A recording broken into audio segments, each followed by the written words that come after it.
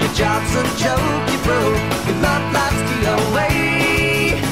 It's like you're always stuck in second gear. When it hasn't been your day, your week, your month, or even your year. But